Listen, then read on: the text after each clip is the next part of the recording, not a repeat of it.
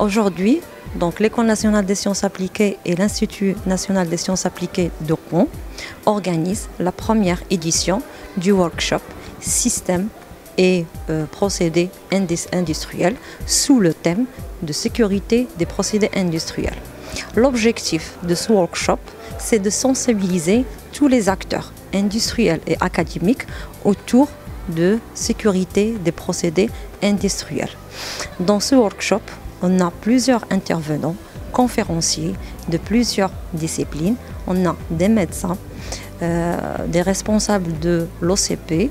Il y a aussi la Société nationale des procédés de France. Il y a aussi euh, l'entreprise Cosumar. Euh, tous ces acteurs, ils sont là pour sensibiliser les gens de risques, des risques et des dangers des procédés industriels.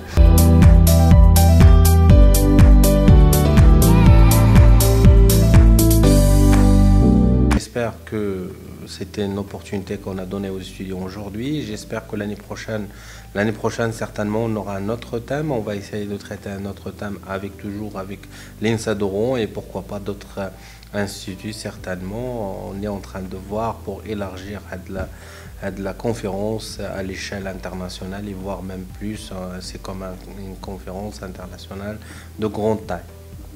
C'était une première, je pense, je trouve que c'était une première et réussie avec pas mal de, monde. Et, l'année prochaine, donc là, on se penche certainement aujourd'hui, la fin de la journée, pour, euh, pour fixer la date de la prochaine édition avec le thème qui correspond. Et toujours lorsque je reviens, je reviens, c'est un thème qui correspond à nos filières, à la filière, bon, spécialement la filière génie industriel. Et par contre, le thème, il doit être différent de la sécurité, mais c'est un thème qui correspond aux intérêts de l'école et des industries les la région.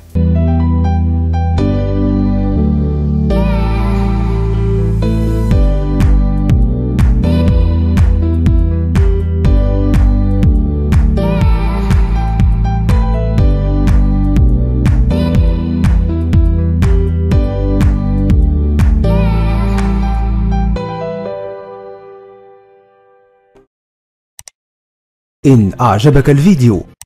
لا تنسى الإعجاب والاشتراك في القناة.